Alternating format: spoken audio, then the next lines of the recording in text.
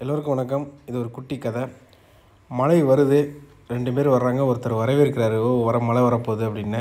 இன்னொருத்தர் பார்த்திங்கன்னா ரொம்ப கவலையாக நிற்கிறாரு அப்படியே ரோடு இருக்குது அடுத்து பார்த்தீங்கன்னா மழை வந்து பெய்யுது.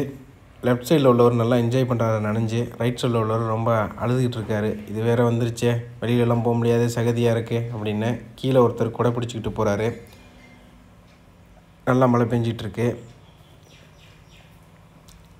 அப்புறம் பார்த்திங்கன்னா மழை விட்டுருச்சு. அப்படியே நல்லா வயல்வெளிகள் எல்லாமே நல்லா செழிப்பாக இருக்குது ரெண்டு பேரும் நடந்து வர்றாங்க. மழையில் நனைஞ்சவர் அப்படியே தண்ணி சொட்ட சொட்ட வர்றாரு. இந்த சைடு ரைட் சைடு உள்ளவர் அப்படியே ஒரு இடத்துல நின்றுட்டு வர்றாரு.